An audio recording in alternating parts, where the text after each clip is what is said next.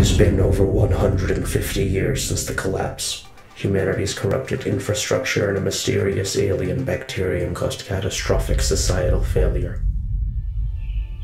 The alien bacterium forged a new world and a new breed of human, more prone to rage and paranoia. But both species of humans had to coexist to survive, so they formed a new civilization from the ashes the Calders. But this peaceful coexistence did not last long. The once benevolent dictator of the Calders suddenly became hostile to humankind, enslaving and murdering thousands. A guerrilla war began, and to this day, a resistance group continues to fight. But underneath this world, thousands of humans from before the collapse lay dormant.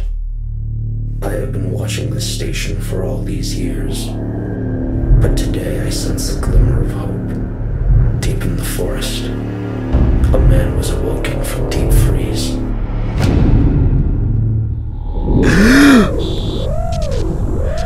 What's happening? Where am I? Eject?